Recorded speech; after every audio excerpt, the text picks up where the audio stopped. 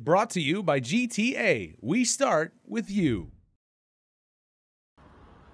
Every year on Good Friday, the island's faithful make their way to Mount Lamlam to venerate the Passion of Christ. This morning, several followers of the faith hiked the trail before the break of dawn, praying and revering at the 14 crosses that mark the trail.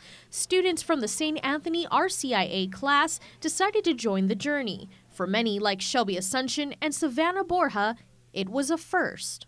It was very challenging, but honestly, it's nothing to what it's nothing compared to what Jesus been through. I was expecting um, a very challenging hike, which it was, and in a sense, we got to experience what Jesus went through when he brought his cross up here, but without the suffering and the pain. Challenging, but worth it. For many, the hike allows them to better identify with the pain and burden of bearing their own crosses.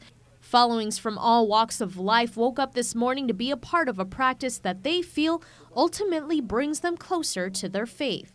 Mateo Martera, another St. Anthony RCIA student, described the events. There are people that carry a cross up here. There are some nunkus coming up here and really, uh, you know, giving themselves up and sacrificing their comfort to go through this, through what Jesus went through on Good Friday. So, you know, that's that's really powerful. Reporting for Guam's News Network, I'm Tyler Matanani.